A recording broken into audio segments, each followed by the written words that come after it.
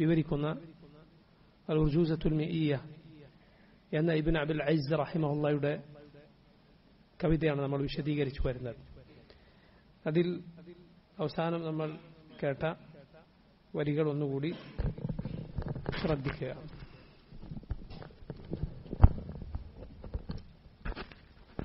بسم الله الرحمن الرحيم ثم على سودة أمضى عقده في رمضان ثم كان بعده عقد ابنة الصديق في شوال وبعد خمسين وعام تالي أسري به والصلوات فرضت خمسا بخمسين كما قد حفظت റസൂലുള്ളാഹി സ്വല്ലല്ലാഹു അലൈഹി വസല്ലമയുടെ ജീവിതത്തിലെ സുപ്രധാനമായ മൂന്ന് സംഭവങ്ങളാണ് ഈ കേട്ട വരികളിൽ ഉള്ളത് ഒന്ന് സൗദ ബിൻത് ജമഅ റളിയല്ലാഹു അൻഹുമായുള്ള റളിയല്ലാഹു അൻഹ അവരുമായുള്ള റസൂലുള്ളാഹി സ്വല്ലല്ലാഹു അലൈഹി വസല്ലമയുടെ വിവാഹമാണ്. രണ്ടാമത്തേത് ആയിഷ റളിയല്ലാഹു അൻഹയുമായുള്ള വിവാഹമാണ്. മൂന്നാമത്തേത് ഇസ്രാവും മെഹറാജുമാണ് ഇതിൽ സൗദ റതി അള്ളാഹു അനയുമായുള്ള വിവാഹത്തെക്കുറിച്ച് നമ്മൾ പറഞ്ഞിരുന്നു.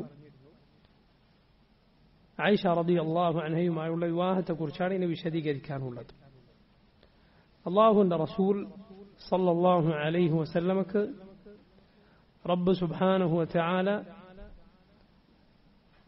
അവിടുത്തെ ഭാര്യമാരായി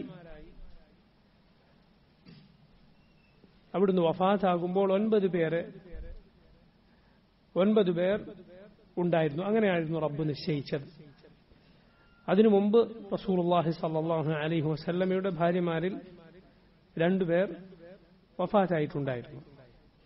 ഖദീജ അള്ളാഹു അൻഹ അതുപോലെ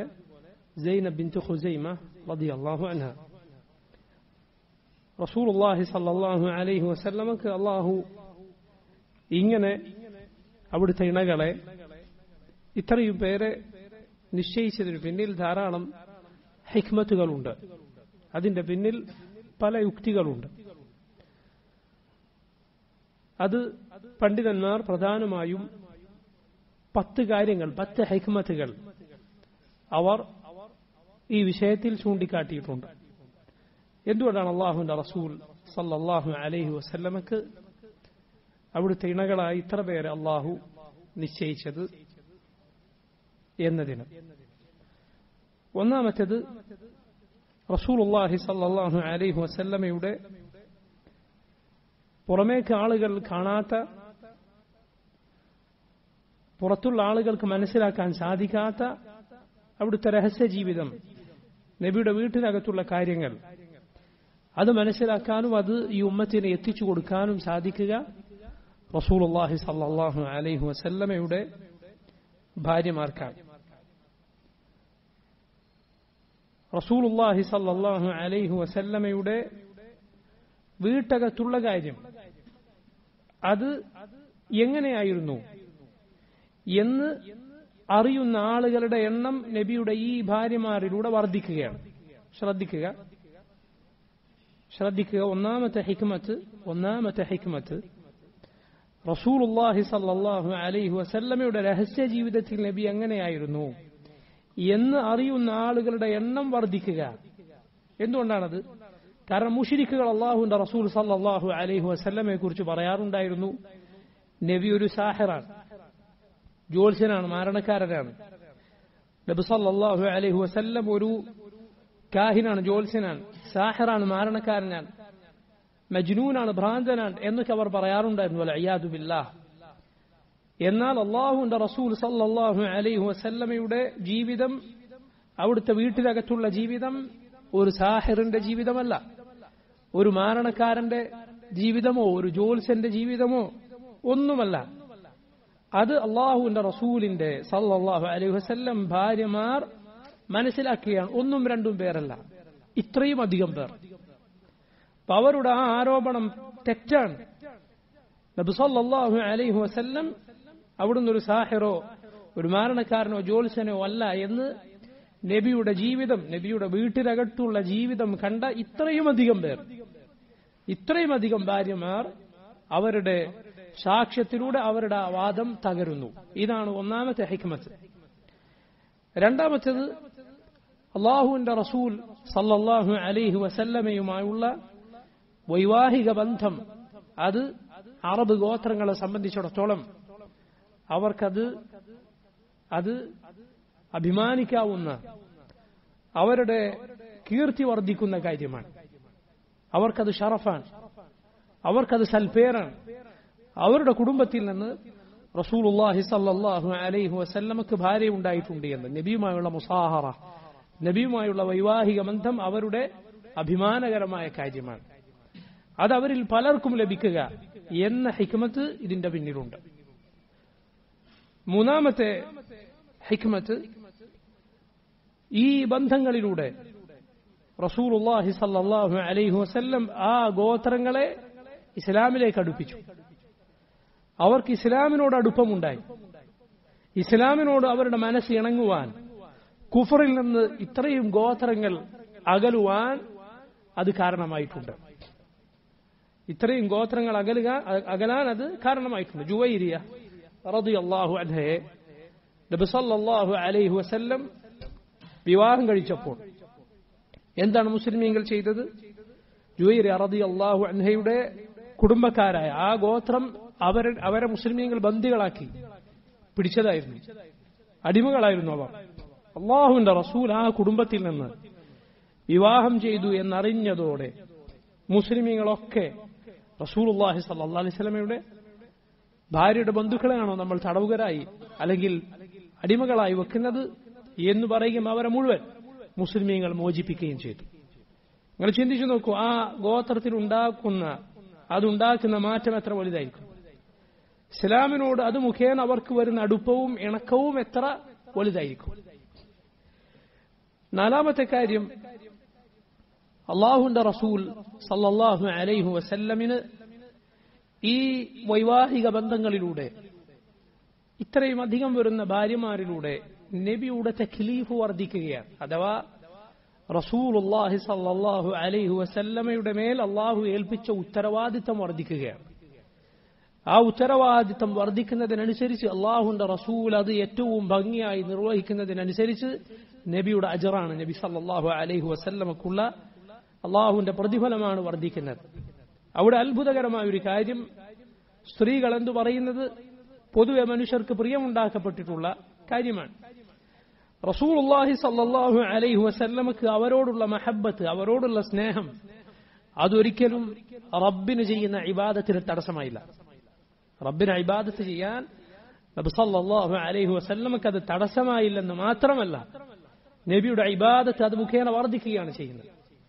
റസൂലുള്ളാഹി സല്ലല്ലാഹു അലൈഹി വസല്ലം അവർക്ക് വേണ്ടി ചെയ്തു കൊടുക്കുന്ന നന്മകളും അവർക്ക് നബി സല്ലാഹു അലൈഹി വസല്ലം വഴിക്ക് ലഭിക്കുന്ന ഖൈറുകളും കൊണ്ട് അള്ളാഹുന്റെ റസൂൽ സല്ലാഹു അലൈഹി വസ്ല്ലമക്ക് റബ്ബിന്റെ അരികിൽ റബ്ബിന്റെ അരികിൽ ശ്രേഷ്ഠത ലഭിക്കുകയാണ്. അവരുടെ ഹിദായത്തിന് അവരുടെ ഹിദായത്തിന് അള്ളാഹുന്റെ റസൂലിന്റെ ഈ വൈവാഹിക ബന്ധങ്ങൾ കാരണമാകുന്നു. അഞ്ചാമത്തത് റസൂലുള്ളാഹി സല്ലാ അലൈഹി വസല്ലമയുടെ ഭാര്യമാർ വഴിക്കുള്ള ഭാര്യമാരെന്ന് പറഞ്ഞാൽ ഒരു സ്ത്രീയെ ഒരു പുരുഷൻ വിവാഹം കഴിച്ചാൽ കേവലം ഒരു ആണും പെണ്ണും തമ്മിൽ മാത്രമുള്ള ബന്ധമാണോ അത്? അല്ല. അത് കുടുംബങ്ങൾ തമ്മിലുള്ള ബന്ധമാണ്. സ്ത്രീയെ വിവാഹം കഴിച്ചാൽ അത് മുഖേന നമ്മുടെ അടുപ്പക്കാരായി മാറുകയാണ്. ആര്? ആ സ്ത്രീയുടെ പിതാവ്. പിതാവിന്റെ പിതാവുണ്ടെങ്കിൽ അങ്ങനെ ആങ്ങളെ ഉണ്ടെങ്കിൽ അങ്ങനെ അവർക്ക് നേരത്തെ മക്കളുണ്ടെങ്കിൽ അങ്ങനെ ഇങ്ങനെ അള്ളാഹുന്റെ റസൂലിന്റെ സഹായികൾ. നബിസല്ലാഹു അലൈഹി വസല്ലമക്ക് നബിയെ പിന്തുണക്കാനും സഹായിക്കാനുമുള്ള ആളുകൾ അത് മുഖേന വർദ്ധിക്കുകയാണ്.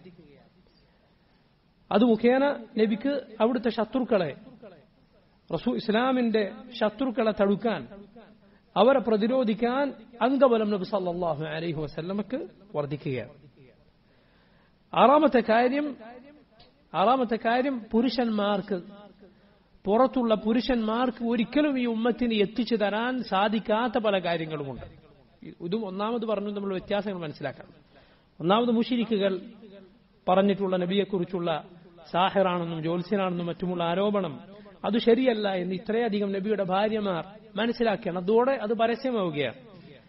ആറാമത്തത് പുരുഷന്മാർക്ക് ഒരിക്കലും അറിയാൻ സാധിക്കാത്ത റസൂലുള്ളാഹി സല്ലാ അലൈഹി സ്വലമയിൽ നിന്ന് കണ്ടു മനസ്സിലാക്കാൻ സാധിക്കാത്ത ഉമ്മത്തിന് എത്തിച്ചു കൊടുക്കാൻ സാധിക്കാത്ത റസൂലുള്ളാഹി സല്ലാ അലൈഹി സ്വലമയുടെ ജീവിതത്തിലെ കാര്യങ്ങൾ അവിടുത്തെ ലൈംഗിക ജീവിതവുമായി ബന്ധപ്പെട്ട് നബി സല്ലല്ലാഹു അലൈഹി വസല്ലം വീട്ടിലകത്ത് ചെയ്തിരുന്ന സ്വകാര്യമായ കാര്യങ്ങളെക്കുറിച്ച് അറിയാനും ഈ ഉമ്മത്തിന് എത്തിച്ചു കൊടുക്കാനും അള്ളാഹുന്റെ റസൂൽ സല്ലാ അലൈഹി സ്വലമയുടെ ഈ ഭാര്യമാർക്ക് സാധിച്ചു. അവർ മുഖേന സാധിച്ചു എന്നതാണ്.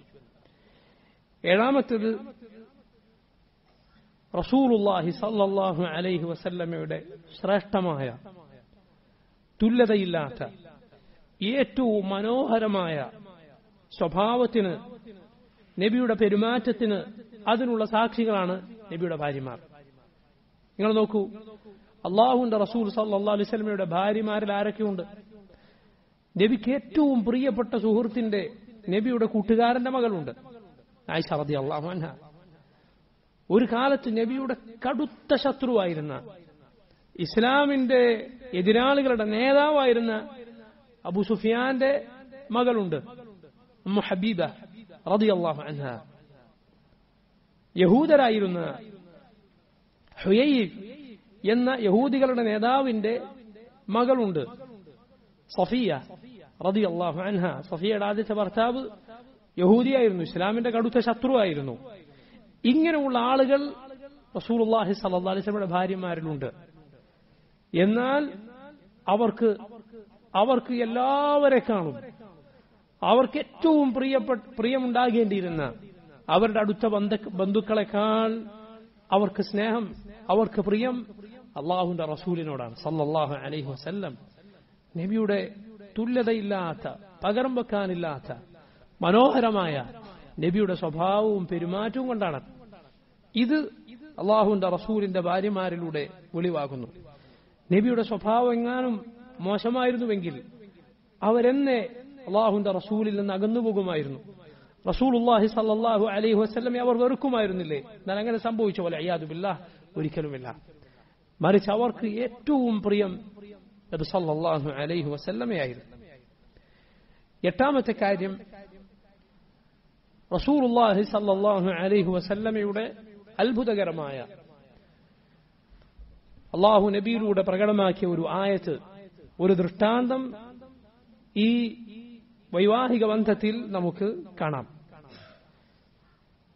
എന്താണത്? സഹോദരങ്ങളെ കുറഞ്ഞ ഭക്ഷണം കുറഞ്ഞ ആഹാരം എന്നത് പൊതുവെ മനുഷ്യന്റെ ലൈംഗിക മോഹത്തെ ചുരുക്കിക്കളയും. അതുകൊണ്ടാണ് റസൂലുള്ളാഹി സല്ലല്ലാഹു അലൈഹി വസല്ലം വിവാഹത്തിന് സാധിക്കാത്ത യുവാക്കളോട് നോമ്പെടുക്കാൻ പറഞ്ഞത് يا معشر الشباب من استطاع منكم الباءة فليتزوج യുവാക്കളെ നിങ്ങൾ സാധിക്കുമെങ്കിൽ നിങ്ങൾക്ക് കഴിവുണ്ടെങ്കിൽ നിങ്ങൾ വിവാഹം ചെയ്യുക فإنها أغض للبصر وأحصن للفرج അതാണ് കണ്ണുകൾ താഴ്ത്താനും ലൈംഗികാവയവത്തെ സംരക്ഷിക്കാനും അത് മുഖേനയാണ് സാധിക്കുക അത് മുഖേന സാധിക്കും. ആർക്കെങ്കിലും അത് സാധിക്കുന്നില്ലെങ്കിൽ അവൻ നോമ്പെടുക്കട്ടെ. വിജ. നോമ്പ് അവന് അതിൽ നിന്ന് ഒരു സംരക്ഷണമേകും ഒരു തടസ്സമേകും. എന്തുകൊണ്ടാണത്? നോമ്പിലൂടെ പിശാചിന് മനുഷ്യന്റെ രക്തം സഞ്ചരിക്കുന്നിടത്തോടുകൂടെ സഞ്ചരിക്കാനുള്ള അവന്റെ വഴി ഇടുങ്ങുന്നതാണ്. ഭക്ഷണം കുറയുമ്പോൾ ആഹാരം കുറയുമ്പോൾ ഒരുവന്റെ ശഹുവത്ത് ഒരുവന്റെ ലൈംഗിക മോഹം അത് കുറയും. ഇതാണ് സാധാരണ ആളുകൾക്കുണ്ടാവുക. എന്നാൽ അള്ളാഹുന്റെ റസൂൽ സല്ലാഹു അലൈഹു വസല്ലം അവിടുത്തെ ഭക്ഷണത്തിന്റെ സ്ഥിതി എന്താ? നബിയുടെ പാനീയത്തിന്റെ സ്ഥിതി എന്താ? നബി സല്ലാ അലൈഹി വസല്ലമയുടെ ആഹാരത്തിന്റെ സ്ഥിതി എന്തായിരുന്നു? ആയിഷ റതി അള്ളാഹു അൻഹ പറഞ്ഞിട്ടുള്ളതുപോലെ മാസങ്ങൾ മാസങ്ങൾ ഇങ്ങനെ കടന്നുപോകും. ഹിലാൽ കാണും. അടുത്ത മാസത്തിന്റെ ഹിലാൽ ചന്ദ്രൻ കാണും. അള്ളാഹുന്റെ റസൂൽ സല്ലാസ്മയുടെ വീട്ടിലെ അടുപ്പിൽ തീ പുകഞ്ഞിട്ടുണ്ടാവുകയില്ല.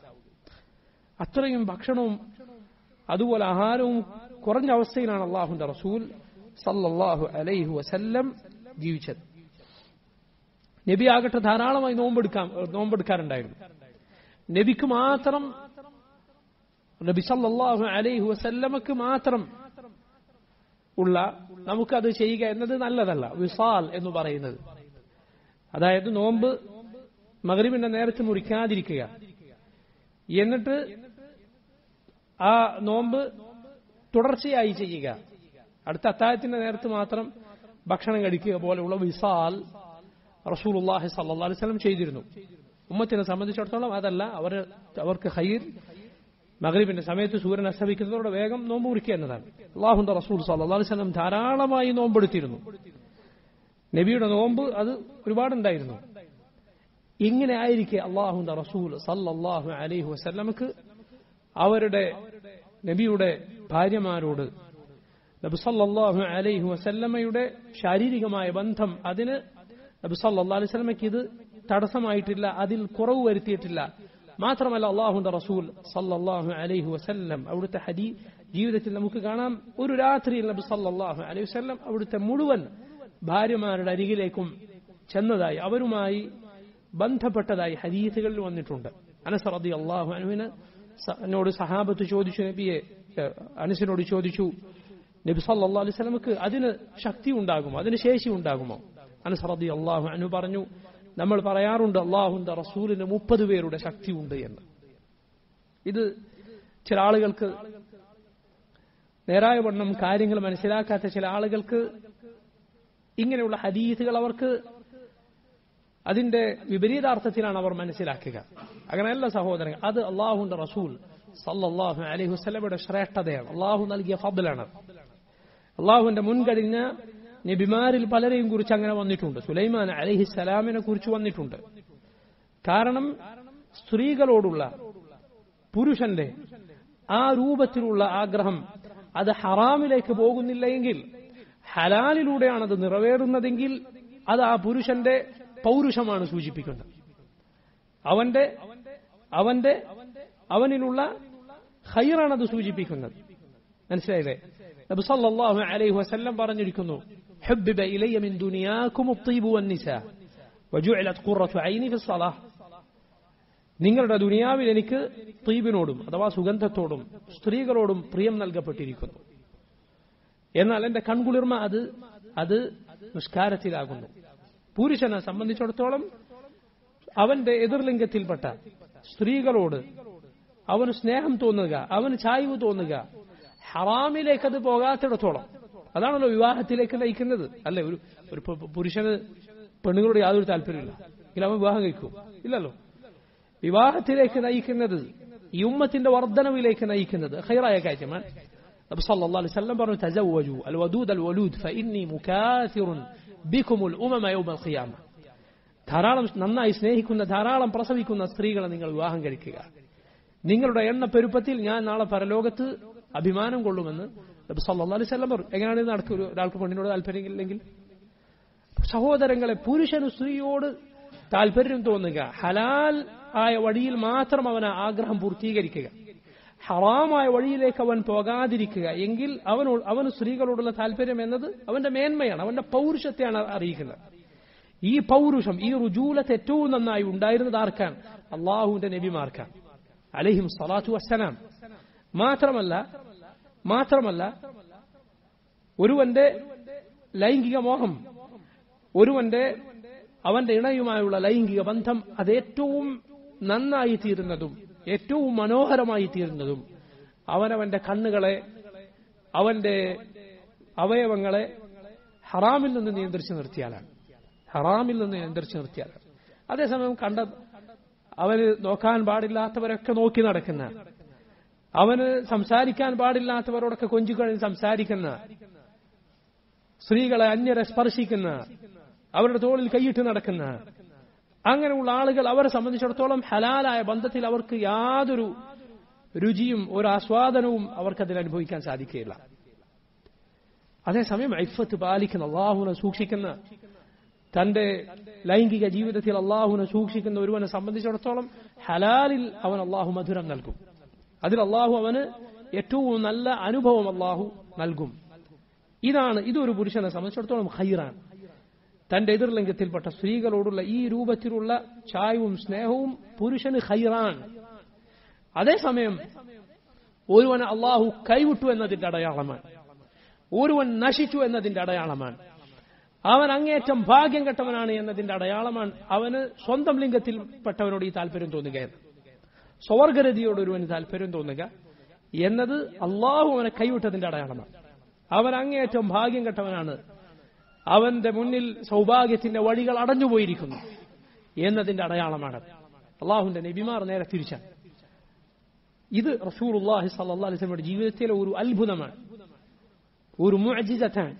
അഥവാ അവിടുത്തെ ഭക്ഷണം കുറവായിരുന്നു അവിടുന്ന് ധാരാളമായി നോമ്പെടുക്കുമായിരുന്നു. എന്നിട്ടും നബി സല്ലാഹു അലൈഹി വസല്ലമക്ക് അവിടുത്തെ ഇണകളുമായി അവരുമായുള്ള ബന്ധം അത് നബി അലിസ്വലമയുടെ ആ ബന്ധം അത് ധാരാളമായി സംഭവിച്ചിരുന്നു എന്നത് അത്ഭുതകരമായ കാര്യമാണ്. നേരായ ബുദ്ധിയുള്ള ശരിയായി കാര്യങ്ങൾ മനസ്സിലാക്കാൻ സാധിക്കുന്ന ആളുകൾക്ക് അത് നന്നായി മനസ്സിലാവും. തലതിരിഞ്ഞവർക്ക് മനസ്സിലാവുകയില്ല. വൃത്തികേടുകൾ ഹൃദയത്തിൽ അടിഞ്ഞുകൂടിയവർക്ക് അത് മനസ്സിലാകണമെന്നില്ല എന്ന് മാത്രം. അപ്പൊ ഇതാണ് സഹോദരങ്ങളെ എട്ടാമത്തെ കാര്യം. ഒൻപതാമത്തേത് റസൂലുല്ലാഹി സല്ലാഹു അലൈഹി വസല്ലം. ഇത്രയും അധികം സ്ത്രീകൾക്ക് നബിയിലൂടെ അവർക്ക് ചാരിത്ര ശുദ്ധി ലൈംഗിക വിശുദ്ധി ലഭിക്കുകയാണ്. ഹറാമുകളിലേക്ക് പോകാതിരിക്കുക എന്നത് ഒരാൾക്ക് സാധിക്കുക ഏതിലൂടെയാണ് ഹലാലായ ബന്ധത്തിലൂടെയാണ്. നബി സല്ലല്ലാഹു അലൈഹി ഇത്രയും ഇത്രയും സ്ത്രീകൾക്ക് അത് സാധിച്ചു എന്നത് നബി സല്ലല്ലാഹു അലൈഹി വസല്ലമക്ക് ലഭിക്കുന്ന ഖൈറാൻ. പത്താമത്തെ കാര്യം അവരുടെ ബാധ്യതകൾ നബി സല്ലാ അലൈഹി വസല്ലം നിറവേറ്റി. അവരോടുള്ള ബാധ്യത അള്ളാഹുന്റെ റസൂൽ സല്ലാ അലൈഹി വസല്ലം നിറവേറ്റി. അവരുടെ ഭക്ഷണവും അവരുടെ പാർപ്പിടവും അവരുടെ വസ്ത്രവും ഇതൊക്കെ നബി സല്ലാ അലൈഹി ഉത്തരവാദിത്വത്തിലാണ് അവിടുന്ന് അത് ഏറ്റവും ഭംഗിയായി ഏറ്റവും ഭംഗിയായി റസൂൽ അള്ളാഹി സല്ലാഹു അലൈഹി വസ്ല്ലം അത് നിറവേറ്റിയിരിക്കുന്നു. അള്ളാഹുവിന്റെ റസൂലിൻ അവിടുന്ന് ജീവിത വിഭവങ്ങൾ ജീവിത വിഭവങ്ങൾ അത് എല്ലാ നിലക്കും ആസ്വദിച്ച് ജീവിക്കുക എന്നതല്ല നബി സല്ലാസ്ലമിന്റെ പ്രകൃതം. അവിടുന്ന് പലതിലും കുറഞ്ഞ അളവ് കൊണ്ട് മതിയാക്കിയിരുന്നു. അതോടൊപ്പം നബി സല്ലാ അലൈഹി വസല്ലമയിൽ നിന്നാണ് അവിടുത്തെ ഭാര്യമാർക്ക് അവർക്ക് ആവശ്യമുള്ള കാര്യങ്ങൾ ലഭിച്ചത്. ഈ പത്ത് കാര്യങ്ങൾ പ്രധാനമായും പണ്ഡിതന്മാർ അള്ളാഹുന്റെ റസൂൽ സല്ലാഹു അലൈഹി വസല്ലമയുടെ വിവാഹങ്ങൾക്ക് ഇത്രയും വിവാഹങ്ങൾക്കുള്ള കാരണമായി പറഞ്ഞിട്ടുള്ള കാര്യങ്ങളാണ്. ഇനി സഹോദരങ്ങളെ നബി സല്ലല്ലാഹു അലൈഹി വസല്ലം ഹിജറ പോകുന്നതിന് മുമ്പ് മക്കയിൽ വെച്ച് നടന്ന സുപ്രധാനമായ കാര്യമാണ് ആയിഷ റതി അള്ളാഹു അൻഹയുമായുള്ള നബി സല്ലല്ലാഹു അലൈഹി വസല്ലമയുടെ വിവാഹം. നിക്കാഹ് അവിടെ മക്കയിൽ വെച്ച് നടന്നിരുന്നു. എന്നാൽ റസൂലുള്ളാഹി സല്ലാഹു അലൈഹി വസ്ല്ലം അവരുമായി വീടുകൂടിയത് നബി അവരുമായി ഒരുമിച്ച് താമസിക്കാൻ ആരംഭിച്ചത് അത് മദീനയിൽ എത്തിയതിന് ശേഷമായിരുന്നു. അത് മദീനയിൽ എത്തിയതിന് ശേഷമായിരുന്നു.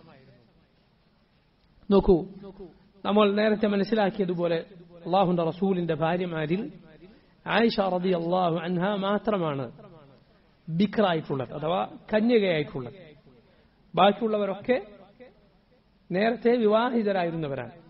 ആയിഷ റതി അള്ളാഹു അൻഹ മാത്രമായിരുന്നു നബി സല്ലല്ലാഹു അലൈഹി വസല്ലം വിവാഹം ചെയ്ത കന്യക ഇമാം ബുഖാരിയും മുസ്ലിമും ഉദ്ധരിച്ച ഹദീസിൽ നമുക്ക് കാണാം ആയിഷ റതി അള്ളാഹു അൻഹ പറയുന്നു അന്ന നബിയ സല്ലല്ലാഹു അലൈഹി വസല്ലമ തസവ്വജഹ വഹിയ ബിന്തു സിത്തി സിനീൻ നബി സല്ലല്ലാഹു അലൈഹി വസല്ലം ആയിഷ റതി അള്ളാഹു അൻഹയെ വിവാഹം കഴിക്കുമ്പോൾ അവരുടെ പ്രായം നമ്മുടെ ഉമ്മയുടെ പ്രായം ആറു വയസ്സായിരുന്നു وبنى بها وهي بنت تسع سنين റസൂലുള്ളാഹി സ്വല്ലല്ലാഹു അലൈഹി വസല്ലം അവരുമായി വീട് കൂടുമ്പോൾ അവരുമായി താമസം ആരംഭിക്കുമ്പോൾ അവരുടെ പ്രായം ഒൻപത് വയസ്സായിരുന്നു നബി സല്ലല്ലാഹു അലൈഹി വസല്ലമയുടെ കൂടെ ഒൻപത് വർഷം അവർ കഴിച്ചുകൂട്ടി അവിടുന്ന് സല്ലല്ലാഹു അലൈഹി വസല്ലം വഫാത്താകുമ്പോൾ നമ്മുടെ ഉമ്മയുടെ പ്രായം പതിനെട്ട് വയസ്സായിരുന്നു റളിയല്ലാഹു അൻഹ വഅർദാഹ സഹോദരങ്ങളെ നബി സല്ലല്ലാഹു അലൈഹി വസല്ലമയുടെ ഈ വിവാഹത്തെക്കുറിച്ച്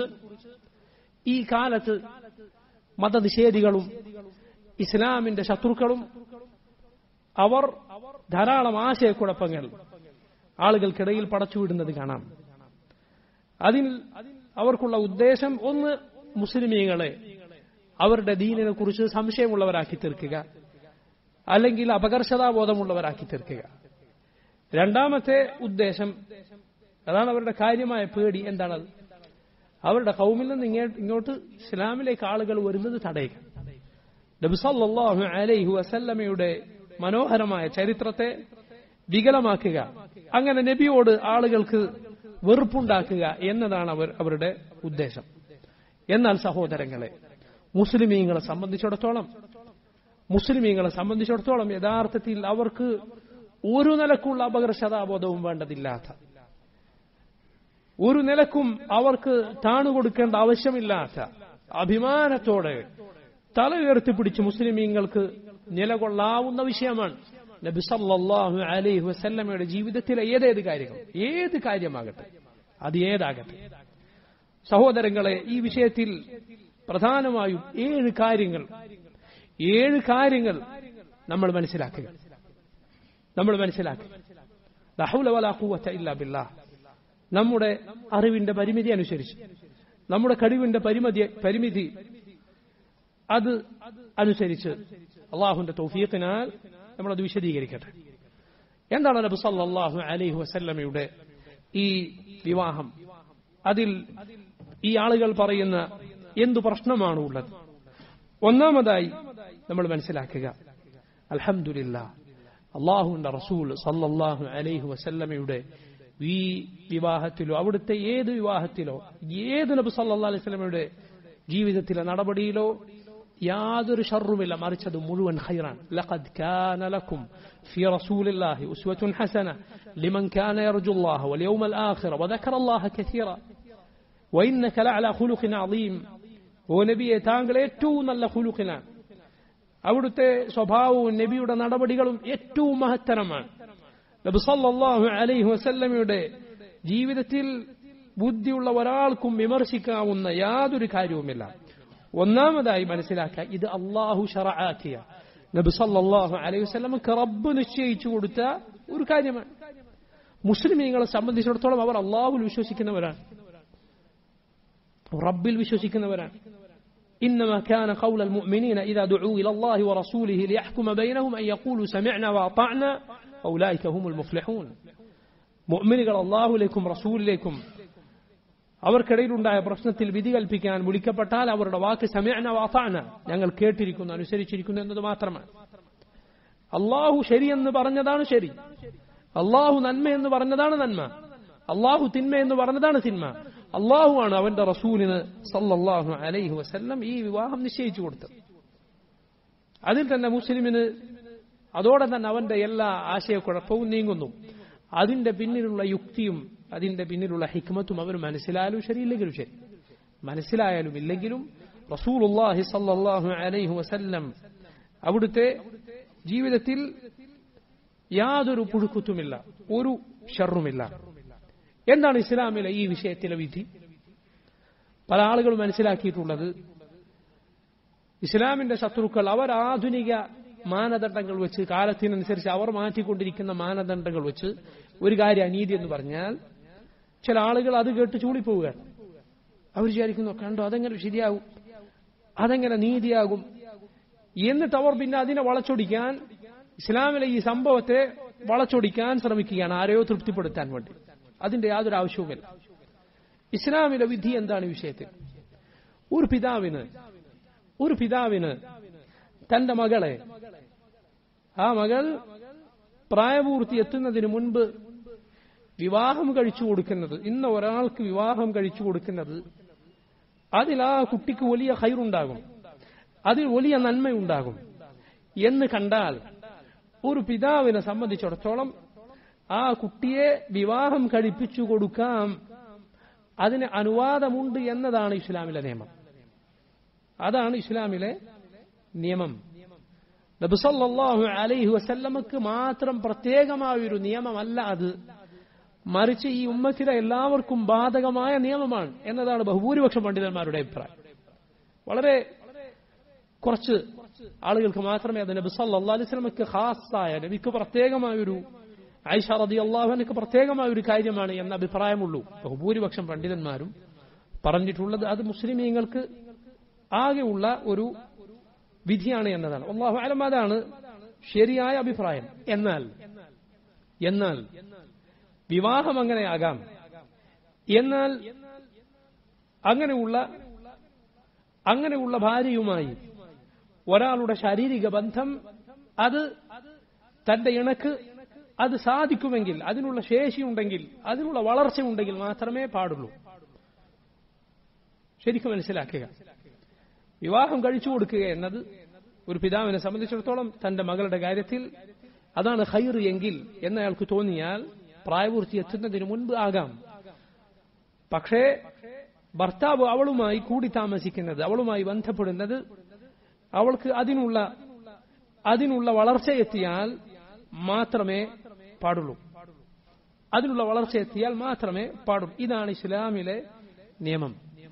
ഇതാർക്ക് ഇഷ്ടപ്പെട്ടാലും ഇഷ്ടപ്പെട്ടില്ലെങ്കിലും അള്ളാഹുവിന്റെ ദീനിലെ നിയമം ഇതാ അങ്ങനെ ചെയ്യേണ്ടുന്ന ചില സന്ദർഭങ്ങൾ വന്നേക്കാം. അങ്ങനെയുള്ള സന്ദർഭം വന്നാൽ അത് ചെയ്യാം. എന്നാൽ ഒരു പെൺകുട്ടി പ്രായപൂർത്തി എത്തിയാൽ പ്രായപൂർത്തി എത്തിയാൽ ശ്രദ്ധിക്കുക വളരെ ശ്രദ്ധിക്കുക പ്രായപൂർത്തി എത്തിയാൽ പിന്നീട് അവളെ വിവാഹം ചെയ്തു കൊടുക്കണമെങ്കിൽ പിന്നീട് അവളെ വിവാഹം ചെയ്തു കൊടുക്കണമെങ്കിൽ അവളുടെ പിതാവിന് അല്ലെങ്കിൽ ആരാണോ ആരാണ് അവളുടെ വലിയ അവളുടെ രക്ഷാധികാരി അയാൾ അവളുടെ സമ്മതം ചോദിച്ചിട്ട് മാത്രമേ ചെയ്യാൻ പാടുള്ളൂ. പ്രായപൂർത്തി എത്തിക്കഴിഞ്ഞാൽ പിന്നീടുള്ള നിയമം അതാണ്. പ്രായപൂർത്തി എത്തിക്കഴിഞ്ഞാലുള്ള നിയമം അതാണ്. ശരിക്കും മനസ്സിലാക്കുക. ഇതിന്റെ മറ്റൊരു വശം ഇത് ഇസ്ലാമിൽ നിർബന്ധമായ ഈ പ്രായത്തിൽ പെൺകുട്ടികൾ വിവാഹം കഴിച്ചു കൊടുക്കണം എന്നത് ഇസ്ലാമിൽ നിർബന്ധമായ ഒരു കാര്യമല്ല. എന്നു മാത്രമല്ല എന്നു മാത്രമല്ല ബഹുഭൂരിപക്ഷം സന്ദർഭങ്ങളിലും ഒരു പെണ്ണിനെ സംബന്ധിച്ചിടത്തോളം അവൾക്ക് ഹൈറാവുക അവളുടെ പ്രായത്തിനോട് യോജിച്ച ഒരാളെ വിവാഹം കഴിപ്പിച്ചു കൊടുത്താലാണ്. മനസ്സിലായില്ലേ? അവളുടെ പ്രായ അവളുടെ പ്രായവുമായി യോജിക്കുന്ന വലിയ പ്രായ വ്യത്യാസമില്ലാത്ത ഒരാളുമായി വിവാഹം കഴിപ്പിച്ചു കൊടുക്കുക എന്നതാണ് കൂടുതൽ ഹൈർ നോക്കൂ റസൂലുള്ളാഹി സല്ലാഹു അലൈഹി വസല്ലമയോട് അവിടുത്തെ മകളെ ഫാത്തിമ റതി അള്ളാഹു അൻഹയെ വിവാഹം ആലോചിക്കുകയാണ് ആരൊക്കെ? ഇമാം നസായിയുടെ സുനലിൽ നമുക്ക് കാണാം ഖതബ അബൂബക്കറിൻ വഉമർ റളിയല്ലാഹു അൻഹുമ ഫാത്തിമ ഫാത്തിമ നബി സല്ലല്ലാഹു അലൈഹി വസല്ലമയുടെ മകളെ നബിയുമായുള്ള ബന്ധം ആഗ്രഹിച്ചുകൊണ്ട്. നബി സല്ലല്ലാഹു അലൈഹി വസല്ലമയുമായുള്ള കുടുംബ ബന്ധം ആഗ്രഹിച്ചുകൊണ്ട്. നബിയുടെ മകളെ വിവാഹം കഴിക്കുക എന്ന ശ്രേഷ്ഠത ലഭിക്കാൻ വേണ്ടി അബൂബക്കറും ഉമറും നബി സല്ലല്ലാഹു അലൈഹി വസല്ലമയോട് ഫാത്തിമയെ വിവാഹം ആലോചിച്ചു വന്നു. ഫഖാല റസൂലുള്ളാഹ് സല്ലല്ലാഹു അലൈഹി വസല്ലം അള്ളാഹുവിന്റെ റസൂൽ അലൈഹി വസല്ലം അവർ രണ്ടുപേരോടും അവരോട് മറുപടി പറഞ്ഞു ഇന്നഹ സഹീറ അവൾ ചെറിയ കുട്ടിയാണ്. അവൾ ചെറിയ കുട്ടിയാണ്. ഫഹ Ali. Ali bin Abi Talib ഫാത്തിമയെ വിവാഹം ആലോചിച്ചു. മിൻഹു. റസൂലുള്ളാഹി സ്വല്ലല്ലാഹു അലൈഹി ഫാത്തിമയെ ആർക്ക് വിവാഹം കഴിച്ചു കൊടുത്തു? അലിക്ക് വിവാഹം ചെയ്തു കൊടുത്തു. എന്തുകൊണ്ടാണ് അത്? പണ്ഡിതന്മാർ പറഞ്ഞത് കാണാം. ഒരു പെണ്ണിന്റെ ഭർത്താവുമായുള്ള ജീവിതം കൂടുതൽ ഊഷ്മളമായി തീരാൻ കൂടുതൽ ആ ബന്ധം നന്നായി പോകാൻ സഹായകമാകുക. പ്രായത്തിൽ വലിയ വ്യത്യാസമില്ലാത്ത അതിൽ കൂടി അവളോട് യോജിക്കുന്ന സൗന്ദര്യത്തിലും മറ്റുമുള്ള യോജിപ്പ് നോക്കുന്നത് പോലെ തറവാടിലുള്ള യോജിപ്പ് നോക്കുന്നത് പോലെ പണത്തിലുള്ള യോജിപ്പ് നോക്കുന്നത് പോലെ അതിനേക്കാൾ വലുതാണ് ദീൻ.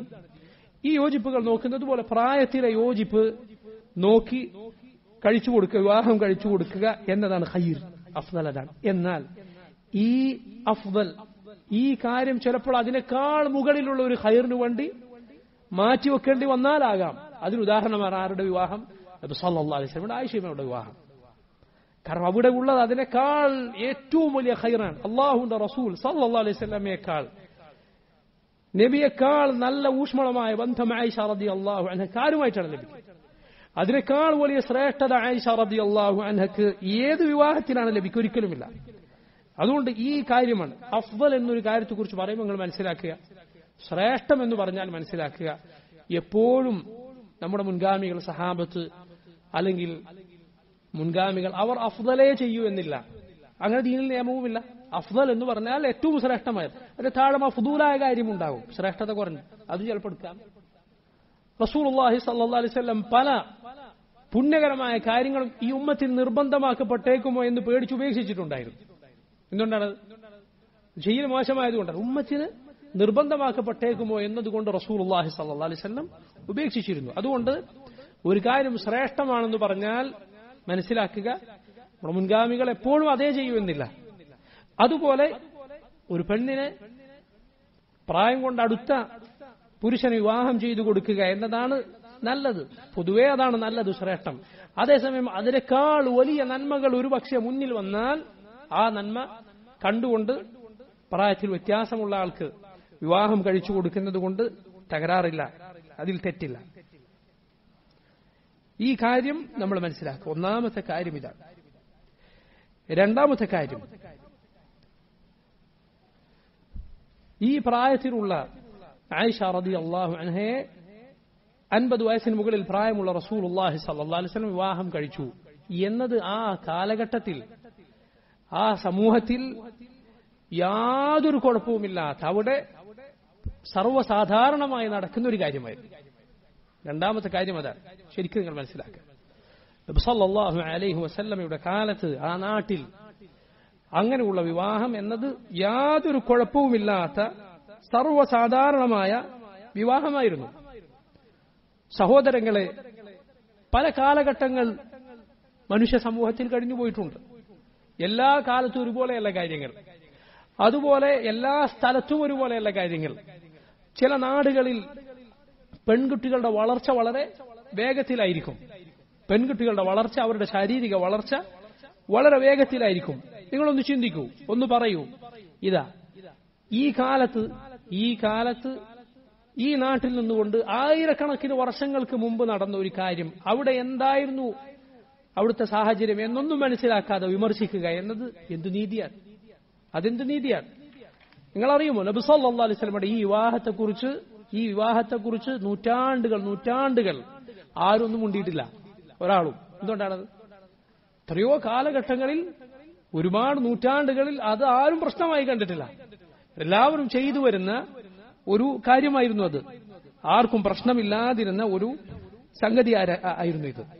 അത് മനസ്സിലാക്കുക അതുകൊണ്ടാണ് അതുകൊണ്ടാണ് ശ്രദ്ധിക്കുക അതുകൊണ്ടാണ് ശ്രദ്ധിക്കുക ആയിഷ റതി അള്ളാഹു അൻഹയെ നബി സല്ലല്ലാഹു അലൈഹി വസല്ലം വിവാഹം ചെയ്യുന്നതിന് മുൻപ് റസൂലുള്ളാഹി സ്വല്ലല്ലാഹു അലൈഹി വിവാഹം ചെയ്യുന്നതിന് മുൻപ് ജുബൈർ ബിൻ മുത്തഅമിന് അബൂബക്കർ റളിയല്ലാഹു അൻഹു പറഞ്ഞു വെച്ചിരുന്നു.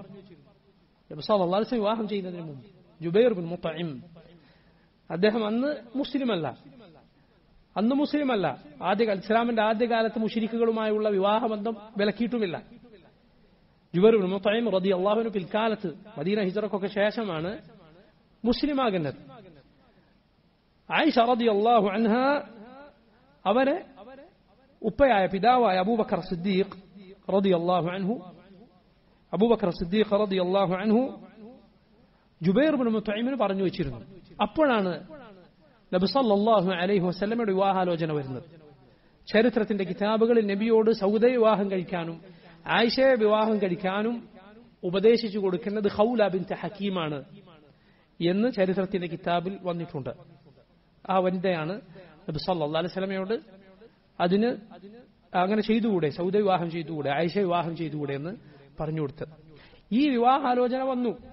അബൂബക്കർ സിദ്ദീഖ് റതി അള്ളാഹുനു ആകട്ടെ ജുബൈർ ബിൻ മുത്തൈമിന് മുത്തൈബ് ബിൻ അദീന്റെ മകനായ ജുബൈർ ബിൻ മുത്തൈമിന് പറഞ്ഞു വെച്ചിരുന്നു. അബൂബക്കർ സിദ്ദീഖ് റതി അള്ളാഹു അൻഹു ജുബൈർ ബിൻ മുത്തൈമിന്റെ വീട്ടിലേക്ക് പോയി. അബൂബക്കർ റതി അള്ളാഹു വാക്ക് പറഞ്ഞാൽ തെറ്റിക്കുകയില്ല. വീട്ടിലേക്ക് പോയി. വീട്ടിലേക്ക് പോയപ്പോൾ ജുബൈർ ബിൻ മുത്തൈമിന്റെ ഉമ്മ മുത്തൈമിൻ ബിൻ അദീന്റെ ഭാര്യ ഇങ്ങോട്ട് അബൂബക്കർ സിദ്ദീഖിനോട് പറഞ്ഞു നമുക്ക് ഈ വിവാഹം വേണ്ടെന്ന് വെക്കാം. കാരണം വിവാഹം കഴിച്ചാൽ നിങ്ങൾ നിങ്ങളെ പുതിയ ദീനിലേക്ക് എന്റെ മകനെ കൂട്ടിപ്പോകും എന്ന് എനിക്ക് പേടിയുണ്ട്. എന്ന് അമ്മ ഇങ്ങോട്ട് പറഞ്ഞു. അബൂബക്കർ സിദ്ദീഖ് റതി അള്ളാഹു അൻഹു അതോടെ ആ ബന്ധം ഒഴിവായി. നബി ആയിഷ വിവാഹം കഴിപ്പിച്ചു കൊടുത്തു. നോക്കൂ അവിടെ സർവസാധാരണമായ ഒരു കാര്യമായിരുന്നു. ഇനി നമ്മുടെ നാട്ടിൽ നമ്മുടെ നാട്ടിൽ പോലും ഒരു ഒരു തലമുറ മുൻപ് വർഷം ഏതാനും വർഷങ്ങൾക്ക് മുമ്പ്. ഇവിടെ പ്രായമുള്ള പലർക്കും അറിയുന്ന കാര്യമാണ്. പന്ത്രണ്ടും പതിമൂന്നും അല്ലെങ്കിൽ അതിനു മുമ്പും ഒക്കെ പ്രായമുള്ളവർ ഇവിടെ വിവാഹം കഴിച്ചിരുന്നു. യാതൊരു കുഴപ്പവും ഉണ്ടായിരുന്നില്ല. ഇന്ന് ആ കാലത്തേക്ക് നോക്കി ഒരാൾ മോശമായ പദപ്രയോഗങ്ങൾ ഉപയോഗിച്ചാൽ അത് കുറ്റകൃത്യമാണെന്ന് പറഞ്ഞാൽ നാളെ ഇന്നത്തെ വിവാഹത്തെക്കുറിച്ച് അങ്ങനെ പറയേണ്ടി വരും. ഇരുപത്തിരണ്ട് വയസ്സായി പെൺകുട്ടികളുടെ വിവാഹ പ്രായം നിശ്ചയിക്കപ്പെട്ടാൽ അള്ളാഹു എല്ലാവിധ ഷറിൽ നിന്നും ഈ ഉമ്മത്തിനെ നമ്മേവരെയും കാത്തുരക്ഷിക്കുമാറാകട്ടെ. അതുപോലുള്ള ഫിത്നകളിൽ നിന്ന് കാത്തുരക്ഷിക്കുമാറാകട്ടെ. അങ്ങനെ നിശ്ചയിക്കപ്പെട്ടാൽ ഒരു പെണ്ണിന് ഇരുപത്തൊന്നേ പോയിന്റ് ഒമ്പത് ഒമ്പത് വയസ്സായാലും വിവാഹം കഴിപ്പിച്ചു കൊടുത്താൽ അത് കുറ്റകൃത്യമായിരിക്കും. ശൈശ വിവാഹമായിരിക്കും. ഇരുപത്തൊന്നേ മുക്കാൽ വയസ്സുള്ള ശിശു. പാൽപുടി മാറാത്ത ശിശുവാണ് ആ പെണ്ണ് എന്ന് ചിലപ്പോൾ ആളുകൾ പറഞ്ഞേക്കും. അത് കുറ്റകൃത്യമായി ശൈശ വിവാഹമായിട്ടൊക്കെ ആളുകൾ പറഞ്ഞേക്കും. ഈ ആളുകൾ നിശ്ചയിക്കുന്നതിനനുസരിച്ച് അവരെയും കൊണ്ട് പിശാജ് അവരുടെ ദേഹേച്ഛകൾ ഇളകി മറിയുന്നതിനനുസരിച്ച് ജനങ്ങളുടെ അഭിമാനത്തെ വ്രണപ്പെടുത്താൻ എന്നാൽ കാര്യങ്ങൾ കുറ്റകൃത്യമാക്കാൻ തീരുമാനിച്ചാൽ എന്തായിരിക്കും സ്ഥിതി? ഇത് നിങ്ങൾ മനസ്സിലാക്കുക. രണ്ടാമത്തെ കാര്യം ഇതാണ്. റസൂലുള്ളാഹി സല്ലാഹു അലൈഹി വസല്ലമയുടെ ഈ വിവാഹം ഈ ഇതുപോലുള്ള വിവാഹം അവിടെ സർവസാധാരണമായിരുന്നു എന്നത്. മൂന്നാമത്തെ കാര്യം മൂന്നാമത്തെ കാര്യം വളരെ പ്രധാനപ്പെട്ടതാണ് വളരെ പ്രധാനപ്പെട്ടതാണ്. ഇസ്ലാമിന്റെ ശത്രുക്കൾ അള്ളാഹുവിന്റെ റസൂൽ സല്ലാഹു അലൈഹി വസ്ലമെ വിമർശിക്കുന്നവർ പരിഹസിക്കുന്നവർ അവർക്ക് വല്ല സത്യസന്ധതയും ഉണ്ടെങ്കിൽ അവർക്ക് ധൈര്യമുണ്ടെങ്കിൽ തന്റെ ഇടമുണ്ടെങ്കിൽ ഇതിന് മറുപടി പറയട്ടെ. എന്താണ്? നബി സല്ലാഹു അലൈഹി വസ്ല്ലമെ എതിർക്കാൻ നബിയെ വിമർശിക്കാൻ പരിഹസിക്കാൻ കിട്ടുന്ന ഒരവസരവും പാഴാക്കാത്തവരായിരുന്നു ആര് നബിയുടെ ശത്രുക്കൾ. അബൂലഹബും അതുപോലെ ഉത്ബത്തും ഷെയ്ബത്തും അബൂജഹലും ഒക്കെ. അവരിൽ ആരെങ്കിലും ഒരൊറ്റ തവണ ഒരു തവണ നബി സല്ലാ അലൈഹി സ്വലമെ ആയിഷ റളിയല്ലാഹു അൻഹയെ വിവാഹം കഴിച്ചതിന്റെ പേരിൽ കുറ്റപ്പെടുത്തി കാണിച്ചു തരാൻ കഴിയുമോ? ഇല്ല. എന്തുകൊണ്ടാണ്? അതൊരു കുറ്റമായിട്ട് അവർ കണ്ടിട്ടില്ല. അത് സർവസാധാരണമായ ഒരു കാര്യമായിരുന്നു. അത് മുസ്ലിമീങ്ങൾക്കൊരു കുറവായിരുന്നില്ല മുസ്ലിക്കൾക്കും കുറവായിരുന്നില്ല. അവരാരും അതൊരു കുറഞ്ഞ കാര്യമായി ഒരു തെറ്റായി അവർ മനസ്സിലാക്കിയിരുന്നില്ല. മനസ്സിലായില്ലേ? മുസ്ലിമീങ്ങളോ മുഷിരിക്കുകളോ മനസ്സിലാക്കിയിരുന്നില്ല. നിങ്ങൾക്കറിയുമോ? നിങ്ങൾക്കറിയുമോ? ഖത്താബ് ഖത്താബ് അവിടുത്തെ ഖിലാഫത്തിന്റെ അവസാന കാലത്ത് ഒരു വിവാഹം ആലോചിച്ചു. ആലോചിക്കുക മാത്രം വിവാഹം കഴിക്കുകയും ചെയ്തു. ആരെയെന്നറിയുമോ? അലീബിൻ അബി താലിബിന്റെയും ഫാത്തിമയുടെ മകളെ ഉമ്മു കുൽസൂമിനെ ആരുടെ മകളെ? അലിബിൻ അബി താലിബിന്റെയും ഫാത്തിമ റളിയല്ലാഹു അൻഹയുടെയും മകളായ ഉമ്മു കുൽസൂമിനെ ഈ ഉമറാണ് ബിൽ ഖത്താബ് റളിയല്ലാഹു അൻഹു. ഈ ഉമറാണ് നേരത്തെ നബി സല്ലല്ലാഹു അലൈഹി വസല്ലമയോട് ഉമ്മ കുൽസൂമിന്റെ ഉമ്മ ഫാത്തിമ വിവാഹം ആലോചിച്ചു ചെന്നത്. നബി വസല്ലം എന്ത് പറഞ്ഞത്? ഫാത്തിമ ചെറിയ കുട്ടിയാണെന്ന് പറഞ്ഞു. ആ ഫാത്തിമയുടെ മകൾ ഉമ്മ കുൽസൂമിനെ ഉമർ ബിൽ ഖത്താബ് റളിയല്ലാഹു അൻഹു അലിയോട് വിവാഹം ആലോചിച്ചു. അലി റളിയല്ലാഹു അൻഹു വിവാഹം ചെയ്തു കൊടുത്തു. വലിയ ഖൈർ അതിൽ കണ്ടു അലി ബിൻ അബി താലിബ് റളിയല്ലാഹു അൻഹു. ഉമർ ബിൻ ഖത്താബ് ആ വിവാഹത്തിൽ വലിയ സന്തോഷം പ്രകടിപ്പിച്ചിരുന്നു എന്ന് ചരിത്രത്തിന്റെ ഗ്രന്ഥങ്ങളിൽ കാണാം. എന്തുകൊണ്ടാണ്? എന്തുകൊണ്ടാണ്? നബി സല്ലാഹു അലൈഹി വസല്ലമയുടെ കുടുംബമായി കുടുംബവുമായി തനിക്ക് വിവാഹ ബന്ധം കിട്ടിയെന്നത് നബിയുടെ വേറെ കുട്ടിയാണ്. നബി സല്ലാസ്മയുടെ മകൾ ഫാത്തിമയുടെ മകളാണ് ഉമ്മു കുൽസൂം എന്നതിൽ ഉമർ ബിൻ ഖത്താബ് റളിയല്ലാഹു അൻഹു സന്തോഷിച്ചിരുന്നു. അതിൽ ഉമറിന് രണ്ട് മക്കളുണ്ടായി എന്ന്. ഒന്ന് Zaid bin Umar bin Khattab. Zaid bin Umar bin Khattab റളിയല്ലാഹു അള്ളാഹൻ രണ്ടാമത്തേത് സെയ്ദിന്റെ സഹോദരി റുഖയ്യ ഈ ഉമ്മു കുൽസൂമും സെയ്ദും ഒരേ ദിവസമായിരുന്നു മരണപ്പെട്ടത്. ഉമ്മയും മകനും ഒരേ ദിവസം മരണപ്പെട്ടു എന്നാണ്. അമറിന്റെ ഭാര്യയായ ഉമ്മു കുൽസൂമും അതുപോലെ അവരുടെ മകൻ ജെയ്ദ് ബിൻ ഉമർ ഉമറിന്റെ മകൻ ജെയ്ദും പിൽക്കാലത്ത് ഒരേ ദിവസമാണ് മരണപ്പെട്ടത് എന്നത് ചരിത്രത്തിൽ അറിയപ്പെട്ടതാണ്. സഹോദരങ്ങളെ മൂന്നാമത് ഞാൻ ഈ ഉദാഹരണം പറഞ്ഞ എന്തിനാണ്? അത് സർവസാധാരണമായ ഒരു കാര്യമായിരുന്നു. മുഷിരിക്കുകൾ പോലും നബി സല്ലല്ലാഹു അലൈഹി വസല്ലം അതിന്റെ പേരിൽ ആക്ഷേപിച്ചിട്ടില്ല എന്ന് മനസ്സിലാക്കാനാണ്. റസൂലുള്ളാഹി സല്ലല്ലാഹു അലൈഹി വസല്ലമയും ആയിഷ റളിയല്ലാഹു അൻഹയും തമ്മിലുള്ള ഏറ്റവും ഊഷ്മളമായ മനോഹരമായ സുന്ദരമായ ചരിത്രത്തിൽ തുല്യതയില്ലാത്ത വൈവാഹിക ജീവിതമാണ്. നബി സല്ലല്ലാഹു അലൈഹി വസല്ലമയും നമ്മുടെ ഉമ്മ ആയിഷ റളിയല്ലാഹു അൻഹയും തമ്മിലുള്ള ജീവിതം അതുപോലൊരു ദാമ്പത്യ ജീവിതം അതുപോലെ മനോഹരമായ ഒരു കുടുംബ ജീവിതം ആർക്ക് കാണിച്ചു തരുവാൻ സാധിക്കും? എത്രയായിരുന്നു നബി സല്ലല്ലാഹു അലൈഹി വസല്ലം ആയിഷ റളിയല്ലാഹു അൻഹയെ സ്നേഹിച്ചത്? എത്രയാണ് നമ്മുടെ ഉമ്മ ആയിഷ റളിയല്ലാഹു അൻഹ അള്ളാഹുവിന്റെ റസൂലിനെ സല്ലല്ലാഹു അലൈഹി വസല്ലം സ്നേഹിച്ചത്? എത്ര മനോഹരമായ സംഭവങ്ങളാണ് അവരുടെ ജീവിതത്തിലുള്ളത്. ആയിഷ റതി അള്ളാഹുനയുമായി നമ്മുടെ റസൂൽ അത ഓട്ടമത്സരം നടത്തുകയാണ്. ഓടുകയാണ്. ഒരിക്കൽ നടത്തിയപ്പോൾ ആയിഷ റതി അള്ളാഹുനെ ജയിച്ചു. പിന്നെ നബി സല്ലാ അലൈഹി സ്വലം ജയിച്ചു. നബി പറഞ്ഞു ഇതാ ഇത് അന്നത്തേക്ക് പകരമാണ്. നമ്മുടെ ഉമ്മ റളിയല്ലാഹു അൻഹ ഒരു മാംസം കഷ്ണം കടിച്ചാൽ നബി സല്ലാ അലൈഹി സ്വലം അത് വാങ്ങി അവർ ഏത് ഭാഗത്ത് കടിച്ചു അതേ ഭാഗത്ത് കടിക്കും. അവർ വെള്ളം കുടിച്ചാൽ നബി സല്ലാഹു അലൈഹി വസല്ലം അത് വാങ്ങി അതേ ഭാഗത്ത് തന്റെ ചുണ്ടുകൾ വെച്ച് കുടിച്ചതായി. ഹദീസുകളിൽ നമുക്ക് കാണാം. നബിയും അവരുമൊത്തുള്ള യാത്രകൾ. അള്ളാഹുന്റെ റസൂൽ വസല്ലം യാത്രക്കിടയിൽ തന്റെ കുടാരത്തിനകത്ത് വരാൻ അവർ കാണിച്ചിരുന്ന താല്പര്യം നബി അലൈഹി വസല്ലമയുടെ ഭാര്യമാർ ഒരിക്കൽ നബിയോട് സ്ത്രീകൾക്ക് പൊതുവെ ഉണ്ടാകുന്ന ചില ചില പൊതുവെ ആളുകൾക്ക് ഇഷ്ടപ്പെടാത്ത രൂപത്തിലുള്ള പെരുമാറ്റം ഉണ്ടായപ്പോൾ അള്ളാഹു പരിശുദ്ധ ഖുർആാനിലെ ആയത്ത് അവതരിപ്പിച്ചു. നബിയെ താങ്കൾ താങ്കളുടെ ഭാര്യമാരോട് പറയുക നിങ്ങൾ ദുനിയാവും അതിന്റെ ജീനത്തുമാണ് ഉദ്ദേശിക്കുന്നതെങ്കിൽ ഫറ്റആലൈൻ നിങ്ങൾ വരൂ. ഉമ്മച്ചിഅകുന്ന വൗസർഹകുന്ന സറാഹൻ ജമീല.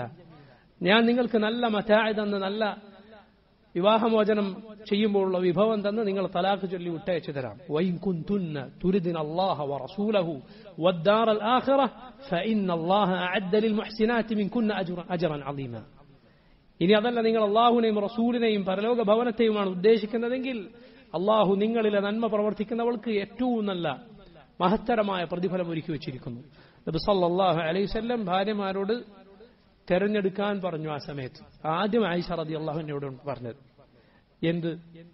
നീ അള്ളാഹു ദായത്ത് അവതരിപ്പിച്ചിരിക്കുന്നു. നീ തിരക്ക് കൂട്ടണ്ട. ഉമ്മാനോടും കൂടി ആലോചിച്ചിട്ട് പറഞ്ഞാൽ മതി. ദുനിയാവ് വേണോ? പോകാം. ഞാൻ നല്ല മറ്റായതെന്ന് വിട്ടയച്ചു തരാം. അതല്ല അള്ളാഹുവിനെയും അവന്റെ റസൂലിനെയും പരലോകത്തെയുമാണോ വേണ്ടത്? എങ്കിൽ നിൽക്കുക അള്ളാഹു വലിയ പ്രതിഫലം നൽകും. ആയിഷ റതി അള്ളാഹു അൻഹ ചോദിച്ചു നബിയെ ഇതിനാണോ ഞാൻ എന്റെ ഉമ്മയോടും ഉപ്പയോടും കൂടിയാലോചന നടത്തേണ്ടത്? ഇതാണോ ഞാൻ കൂടിയാലോചന നടത്തേണ്ടത്?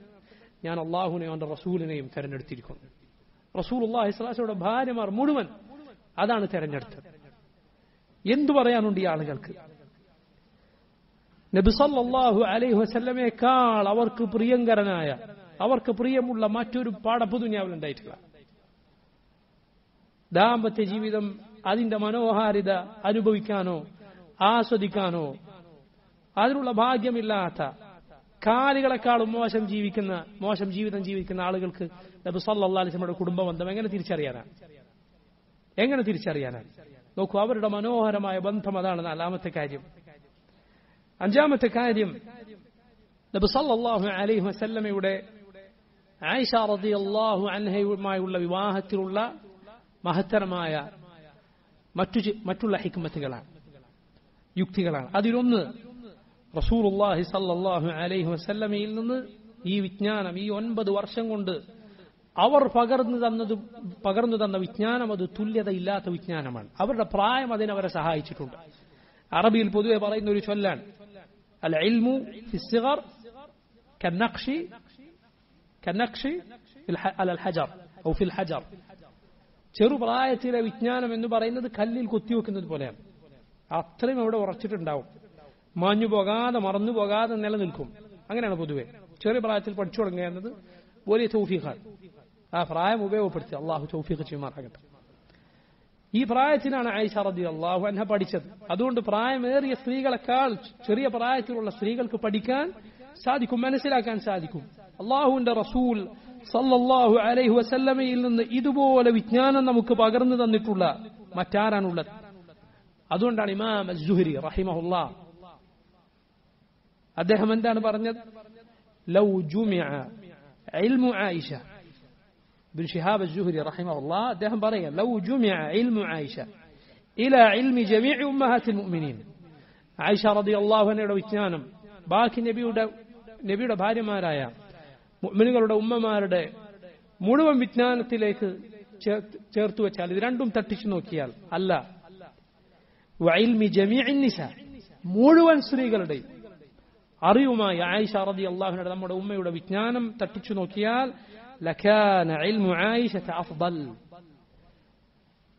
ആയിഷ അള്ളാഹുനയുടെ വിജ്ഞാനമാണ് ആയിരിക്കും ശ്രേഷ്ഠമായ വിജ്ഞാനം. അപ്പാ ഇബിൻ അബി റബാഹ് മറ്റൊരു താബിയാണ് അദ്ദേഹം പറഞ്ഞു كانت عائشة أفقه النساء وأعلم الناس كانت عائشة أفقه الناس وأعلم الناس وأحسن الناس رأيا في العامة ആയിഷ റതി അള്ളാഹുവിനെയാണ് ജനങ്ങളിൽ ഏറ്റവും വിജ്ഞാനം ഉണ്ടായിരുന്ന ഏറ്റവും ഫിഖ് ഉണ്ടായിരുന്ന വ്യക്തി നമ്മുടെ ഉമ്മ ആയിഷ റതി അള്ളാഹുനെയാണ് അവരിൽ ഏറ്റവും അറിവുണ്ടായിരുന്ന പൊതുവിഷയങ്ങളിൽ ഏറ്റവും നല്ല അഭിപ്രായം പറഞ്ഞിരുന്ന ആൾ നമ്മുടെ ഉമ്മ ആയിഷ റതി അള്ളാഹുനെയാണ് എത്ര ഹദീസുകളാണ് നബി അലൈഹി വസല്ലം എന്ന് റിവായത്ത് ചെയ്തിട്ടുള്ളത്? ഏറ്റവും കൂടുതൽ ഹദീസുകൾ റിവായത്ത് ചെയ്ത ഏഴ് സഹാബിമാർ ആറുപേരും പുരുഷന്മാരാണ്. ഒരാളാണ് വനിത നമ്മുടെ ഉമ്മ ആയിഷ റളിയല്ലാഹു അൻഹ. ഈ വിജ്ഞാനം അവരിലൂടെ സംരക്ഷിക്കാൻ അള്ളാഹു റബ്ബുൽ ആലമീൻ ഉദ്ദേശിച്ചു. അല്ലാതെ നബി സല്ലല്ലാഹു അലൈഹി വസല്ലമക്ക് ഇതുപോലെ വിവാഹം ചെയ്യാൻ അന്ന് നബി സല്ലല്ലാഹു അലൈഹി വസല്ലമക്ക് ഇവർ പറയുന്ന ഉദ്ദേശം മാത്രമാണ് നബി സല്ലാ അലൈഹി വസല്ലമക്ക് ഉണ്ടായിരുന്നത് അല്ലെങ്കിൽ ഇവർ പറയുന്ന ഉദ്ദേശമാണെങ്കിൽ റസൂലുള്ളാഹി സല്ലല്ലാഹു അലൈഹി വസല്ലം അവിടുന്ന് ഭരണാധികാരിയാണ്. അള്ളാഹുന്റെ റസൂലിനെ എത്ര വിവാഹം ചെയ്യാൻ സാധിക്കും? എത്ര വിവാഹം ചെയ്യാൻ സാധിക്കും? ഇതിനേക്കാൾ എത്ര കന്യകകളെ വിവാഹം ചെയ്യാൻ നബി സല്ലാ അലൈഹി വസല്ലം സാധിക്കും? ഇതിനേക്കാൾ എത്ര അധികം സാധിക്കും. യാതൊരു സംശയവുമില്ലാത്ത കാര്യമാണത്. ഇതാണ് പ്രിയമുള്ളവരെ അഞ്ചാമത്തെ കാര്യം. അവരുടെ വിജ്ഞാനം. അത് ഈ ഉമ്മത്തിന് നൽകിയ നമ്മുടെ ദീന് ആയിഷ റതി അള്ളാഹു അനയുടെ എത്രയോ ഹദീസുകൾക്ക് മുകളിലാണ് നിലകൊള്ളുന്നത്. ആ ഹദീസുകൾ ഇല്ലെങ്കിൽ ദീനിലെ പല വിജ്ഞാനങ്ങളുമില്ല പല അടിത്തറകളുമില്ല. അത് ഇങ്ങനെ ഈ രൂപത്തിൽ സംരക്ഷിക്കപ്പെടാൻ കാരണം ആ പ്രായത്തിൽ നബി സല്ലല്ലാഹു അവരെ വിവാഹം ചെയ്തതുകൊണ്ട്. ആറാമത്തെ കാര്യം വളരെ പ്രധാനപ്പെട്ട ഒരു കാര്യമാണ്. എന്താണത് പ്രിയമുള്ളവരെ അള്ളാഹുന്റെ റസൂലിനെ സല്ലല്ലാഹു അലൈഹി വസല്ലം അവിടുത്തെ ഈ പേരിൽ വിമർശിക്കുന്നവൻ പരിഹസിക്കുന്നവൻ അവൻ ആരാ അവന്റെ സ്ഥിതി എന്താ? അവനെ കുറിച്ച് നിങ്ങളൊന്ന് ആലോചിച്ച് നോക്കൂ. അള്ളാഹുവിനോടൊപ്പം മറ്റുള്ള ഇലാഹുകളെ സ്ഥാപിച്ചവനോ? ആകാശഭൂമികളുടെ റബ്ബായ അള്ളാഹുവിനോടൊപ്പം താൻ കൈകൊണ്ട് കൊത്തിവെച്ചവയെ വിളിച്ചു തേടുന്നവനോ? അതല്ല ധാരാളം നബിമാരെ കൊന്നുകളഞ്ഞ് അള്ളാഹുവിന്റെ ആയത്തുകളെ പരിഹസിച്ച അള്ളാഹുവിന്റെ സന്താനമാണെന്ന് പറഞ്ഞ യഹൂദിയോ? അതല്ല അള്ളാഹുവിന് സന്താനമുണ്ടെന്ന് ഐസ അലഹിസലാം അള്ളാഹുവിന്റെ സന്താനമാണെന്ന് വാദിച്ചവനോ? ആരാണ്? അവന്റെ കിതാബുകളിൽ അതാ നബിമാരുടെ പഴയകാല സാലിഹികളായ അവരുടെ ചരിത്ര പുരുഷന്മാരുടെ കഥകളതാ ഇതുപോലുള്ള വിവാഹങ്ങളതാ അവരുടെ കിതാബുകളിൽ. എന്തു പറയും? എന്തു ചെയ്യും? പിന്നെ ആരാണ് നബുസല്ലാ സ്വലമെ ഇത് പറഞ്ഞു വിമർശിക്കുന്നവൻ? നിരീശ്വരവാദിയോ? മതനിഷേധിയോ? തന്റെ പൂർവപിതാവ് ഒരു കുരങ്ങനാണെന്ന് വിശ്വസിച്ച് നടക്കുന്നവനോ? അതല്ല ഒരു പൊട്ടിത്തെറി ഉണ്ടായപ്പോ ഈ ദുനിയാവ് മുഴുവൻ ഉണ്ടായി എന്ന് വിശ്വസിക്കുന്നവനോ? ഒരു പൊട്ടിത്തെറിയിലൂടെ ഒരു മൊട്ടുസൂചി ഉണ്ടായത് നീ ഒന്ന് കാണിച്ചതാ. ഒരു മൊട്ടുസൂചി ഉണ്ടായത് ഒരു പൊട്ടിത്തെറി ഉണ്ടായിട്ട്. എന്നിട്ട് ആകാശഭൂമികൾ ഈ ആകാശഗോളങ്ങൾ ഈ പ്രപഞ്ചവും ഇവിടെ ജീവിക്കുന്ന മനുഷ്യരും മൃഗങ്ങളും ഈ പുഴകളും സമുദ്രങ്ങളും വൃക്ഷങ്ങളും സൂര്യനും ചന്ദ്രനുമെല്ലാം മനുഷ്യർ അവരുടെ ശരീരത്തിലെ അവയവങ്ങൾ അവരുടെ മിടിക്കുന്ന ഹൃദയം അവരുടെ വികാര വിചാരങ്ങൾ ചിന്തകൾ അവരുടെ സ്വപ്നങ്ങൾ അവരുടെ സംസാരങ്ങൾ അവർ രചിക്കുന്ന എഴുത്തുകൾ അവരുടെ സംഭാഷണം ഇതെല്ലാം ഒരു പൊട്ടിത്തെറിയിലൂടെ ഉണ്ടായതാണ്. എന്ന് പറയുന്ന പടുവിഡ്ഢിയായ നിരീശ്വരവാദി അവനാണോ? അള്ളാഹുന്റെ റസൂൽ സല്ലാഹു അലൈഹി വസല്ലമെ വിമർശിക്കുന്നത്? അവനെ സംബന്ധിച്ചിടത്തോളം എന്ത് വിവാഹം? എന്ത് വിവാഹം?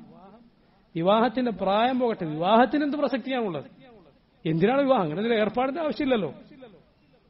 അല്ലേ? മൃഗങ്ങളെ മൃഗങ്ങൾ അങ്ങനെ ചെയ്യാറുണ്ടോ? മൃഗങ്ങൾ ഇങ്ങനെ ചെയ്യാറുണ്ടോ? മൃഗങ്ങൾക്കിടയിൽ ആരാധനാലയമുണ്ടോ എന്ന് നിരീശ്വരവാദികൾ ചോദിക്കാറുണ്ട്. അതെ മൃഗങ്ങൾ തുണി എടുക്കാറില്ല നീ അങ്ങനെയാണോ റോഡിലൂടെ നടക്കാറുള്ളത്? മൃഗങ്ങൾ വിവാഹം കഴിക്കാറില്ല. നീ അതാണല്ലോ ആഗ്രഹിക്കുന്നത്? എന്ത് വിവാഹമാണ് അവർക്കുള്ളത്? അല്ല വിവാഹത്തിന് പ്രായം പോകട്ടെ. വിവാഹത്തിന് ആണും പെണ്ണും തന്നെ വേണം. ഈ കൗമിന് വേണ്ടല്ലോ. ആണും പെണ്ണും തന്നെ വേണം. പോട്ടെ മനുഷ്യൻ വേണോ? വിവാഹത്തിനും ലൈംഗിക ബന്ധത്തിനും നിരീശ്വരവാദിയുടെ കണ്ണിൽ രക്തബന്ധുക്കളും അല്ലാത്തവരും തമ്മിൽ നിരീശ്വരവാദികൾക്കിടയിൽ ഈ കാര്യത്തിൽ എന്ത് വ്യത്യാസമുണ്ട്? കൂടുതൽ ഞാൻ പറയുന്നില്ല. നമ്മുടെ നാവോ ഈ മജിലിസോ അതിന് യോജിക്കുകയില്ല. നിരീശ്വരവാദികളുടെ ദീൻ പ്രകാരം വിവാഹബന്ധത്തിനോ അല്ലെങ്കിൽ ലൈംഗിക ബന്ധത്തിനോ രക്തബന്ധമുള്ളവരോ അല്ലാത്തവരും തമ്മിൽ എന്ത് പ്രസക്തിയാണുള്ളത്? ഏത് നിയമമാണ് അവരെ നയിക്കാനുള്ളത്? എന്ത് വ്യവസ്ഥയാണ് അവരുടെ മുന്നിലുള്ളത്? യാതൊന്നുമില്ല ഒന്നുമില്ല. ഇവനാണോ അള്ളാഹുന്റെ റസൂൽ സല്ലാഹു അലൈസ്ലം വിമർശിക്കുന്നത്? ആയിഷ റതി അള്ളാഹുനയുടെ വിവാഹം അതേക്കുറിച്ച് നിന്റെ വിമർശനം ശരിയായാൽ ഒരിക്കലും ശരിയല്ല. അത് ശരിയായാൽ കുരങ്ങുന്നാണ് മനുഷ്യനുണ്ടായത് എന്നതിന്റെ വാദം അതുകൊണ്ട് ശരിയാവോ? പൊട്ടിത്തെറിയിലൂടെ ആകാശഭൂമിയും ഉണ്ടായി എന്ന വാദം ശരിയാകുമോ? അപ്പൊ നോക്ക് ആരാണിത് പറയുന്നത് എന്ന് ചിന്തിക്കുക അതാണ് ആറാമത്തെ കാര്യം.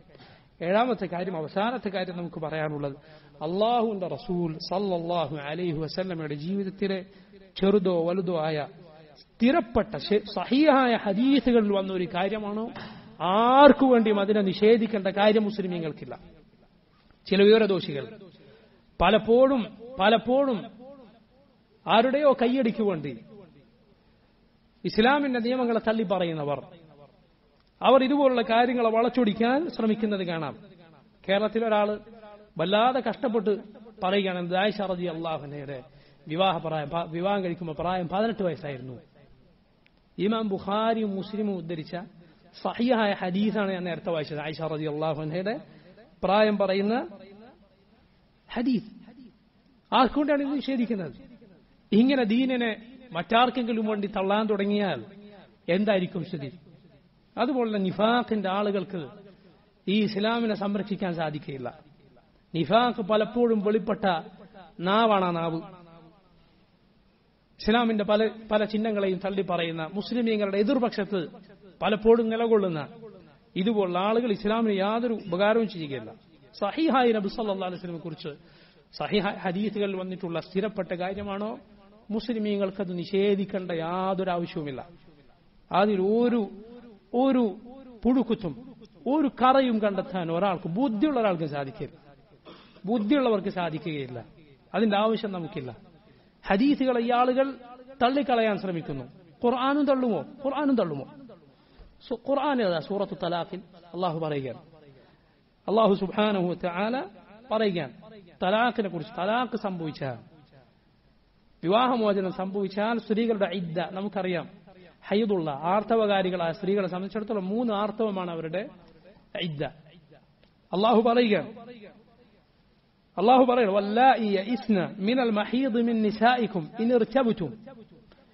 ഹൈദു നിലച്ച പ്രായമേറിയ സ്ത്രീകൾ അവർ വിവാഹമോചനം ചെയ്യപ്പെട്ടാൽ അവരുടെ ഇദ്ദ മൂന്ന് മാസമാണ് കാരണം അവരുടെ ആർത്തവം കണക്കാക്കാൻ സാധിക്കില്ല ആർത്തവം നിലച്ചു അള്ളാഹു പറയണം ആർത്തവം വന്നിട്ടില്ലാത്ത പെൺകുട്ടികളുടേതും. ഇദ്ദ അതാണ് അവർ വിവാഹം ചെയ്യപ്പെടുക മാത്രമല്ല വിവാഹമോചനം ചെയ്യപ്പെട്ടാൽ. ഖുർആാനിൽ അള്ളാഹു പറഞ്ഞത്. ഇവിടെ നേരത്തെ പറഞ്ഞതുപോലെ അങ്ങനെയുള്ള പെൺകുട്ടികളെല്ലാം വിവാഹം കഴിപ്പിച്ചേ പറ്റൂ എന്നാണ് ഈ ആയത്തിന്റെ അർത്ഥം. അവരൊക്കെ വിവാഹമോചനം അതിനുശേഷം ചെയ്തേ പറ്റൂ എന്നാണ് അതിന്റെ അർത്ഥം. അല്ല പക്ഷെ അങ്ങനെ സംഭവിച്ചാൽ അങ്ങനെ സംഭവിച്ചാൽ എന്താണ് എന്നതാണ് ഈ ആയത്തിൽ പറഞ്ഞിട്ടുള്ളത്. ഈ ഹദീസുകളൊക്കെ തള്ളാൻ നടക്കുന്ന ആളുകൾ ഖുർആൻ തള്ളുമോ? ഇതുപോലെ ആകും ദീനിന്റെ പേരിൽ അതിലില്ലാത്തത് ഒരുത്തൻ പറയാൻ മെനക്കെട്ടാൽ അവൻ പലതും പറയേണ്ടി വരും. മനസ്സിലായില്ലേ? ചെറിയ ഏതെങ്കിലും കുഴിയിൽ കാലിടർ വീഴുന്നത് പേടിച്ചിട്ടായിരിക്കും തള്ളുന്നത്. അതിനേക്കാൾ വലിയ പടുകുഴിയിലായിട്ടും ആയിരിക്കും പോയി ചാടുക. അങ്ങനെയാണ്. സഹോദര ഇത് അള്ളാഹുവിന്റെ ദീനാണ്. നമ്മൾ ആരും ഇതിനെ സംരക്ഷിക്കാൻ ഇല്ലെങ്കിലും അള്ളാഹു ഇത് വിജയിപ്പിക്കും. നമ്മൾ ഹക്കിനെ തള്ളി പറഞ്ഞ് ദീനിനുള്ളതിനെ വലിച്ചെറിഞ്ഞ് ഈ ദീനെ സംരക്ഷിക്കേണ്ട ആവശ്യമില്ല. അങ്ങനെ ഒരാളെ അള്ളാഹു ഏൽപ്പിച്ചിട്ടില്ല. നിന്നാവശ്യമില്ല ഈ ദീനിന്. നിന്നെ ഈ ദീന ആവശ്യമില്ല. നിനക്കാണ് ഈ ദീൻ ആവശ്യം. നിനക്ക് ഈ ദീനാവശ്യമുണ്ട് ഇസ്ലാമിന് നിന്നെ ആവശ്യമില്ല. പക്ഷേ നിനക്ക് ഇസ്ലാം ആവശ്യമുണ്ട്. നീ ഇല്ലെങ്കിലും ആരില്ലെങ്കിലും അള്ളാഹു ഈ ദീനിനെ വിജയിപ്പിക്കും. അള്ളാഹു ഈ ദീനിനെ വിജയിപ്പിക്കും. ഈ ആളുകളെ സംബന്ധിച്ചിടത്തോളം വിവാഹം തലാഖ് എന്ന് കേൾക്കുമ്പോൾ തന്നെ തലയിട്ട് വീഴുന്ന ബോധം പോകുന്ന ആളുകളെ പോലെയാണ് പലരുടെയും പെരുമാറ്റം. വിവാഹം ഈ ചെറിയ പ്രായത്തിൽ ആ പെണ്ണിന്റെ വിവാഹം കഴിഞ്ഞു. അവൻ പറയുന്നത് കേട്ടാ വിചാരിക്കും പിറ്റേന്നോൾ മരിച്ചു വീഴും എന്ന്. വിവാഹത്തോടെ ജീവിതം കഴിഞ്ഞു. തലാഖ് തലാഖ് വിവാഹമോചനം ചെയ്യപ്പെട്ടു കേട്ടാ വിചാരിക്കും അതോടെ അവൾ മരിച്ചുപോയി പോയി അതോടെ ജീവിതം തീർന്നു. ഇല്ല. വിവാഹത്തിന് ശേഷവും ജീവിതമുണ്ട്. ഇനി ഒരാൾ വിവാഹമോചനം എന്തെങ്കിലും കാരണവശാൽ സംഭവിച്ചു പോയി അതിനുശേഷവും ജീവിതമുണ്ട്. അതിനുശേഷവും ജീവിതമുണ്ട്. യുഗനില്ലാഹു കുല്ലമിൻ സാറ്റ് എന്നാണ് ഖുർആനിൽ അള്ളാഹു പറഞ്ഞത്. അള്ളാഹു ഇരുകൂട്ടർക്കും രണ്ടു കൂട്ടർക്കും അവന്റെ വിശാലമായ അവന്റെ ഔദാര്യത്തിൽ നിന്ന് നൽകിയേക്കും. അതിനുശേഷവും ജീവിതമുണ്ടാകും. അതിനുശേഷവും മുമ്പില്ലാത്ത ഹൈർ ചിലപ്പോൾ ഉണ്ടാകും. ഇതൊന്നും ഈ ആളുകൾക്ക് ദഹിക്കുകയില്ല. അവരെ ഒപ്പിക്കാൻ വേണ്ടി അവരെ തൃപ്തിപ്പെടുത്താൻ വേണ്ടി അള്ളാഹുവിന്റെ ദീനിനെ വളച്ചൊടിക്കേണ്ട ആവശ്യം നമുക്കില്ല. ഈ ഏഴ് കാര്യങ്ങൾ പ്രിയമുള്ളവരെ ആയിഷ റതി അള്ളാഹു അൻഹയുടെ വിവാഹവുമായി ബന്ധപ്പെട്ട് നാം മനസ്സിലാക്കുക നബി സല്ലല്ലാഹു അലൈഹി വസല്ലമയുടെ ജീവിതം അതുപോലെ മാതൃകയായ ഒരു ജീവിതം അതുപോലെ സുന്ദരമായ ഒരു ജീവിതം മറ്റൊന്നില്ല നമ്മുടെ റസൂൽ സല്ലല്ലാഹു അലൈഹി വസല്ലമയുടെ ജീവിതമാണ് അള്ളാഹു ആ നബിയെ പിൻപറ്റാനും നബി സല്ലല്ലാഹു അലൈഹി വസല്ലമയുടെ കൂടെ നാളെ സ്വർഗത്തിൽ ചെന്നു ചേരാനും നമുക്ക് തൗഫീഖ് ചെയ്യുമാറാകട്ടെ ربنا تقبل منا إنك أنت السميع العليم وتب علينا إنك أنت التواب الرحيم صلى الله وسلم على نبينا محمد وعلى آله وأصحابه أجمعين. سبحانك اللهم وبحمدك أشهد أن لا إله إلا أنت أستغفرك وأتوب إليك. السلام عليكم ورحمة الله وبركاته.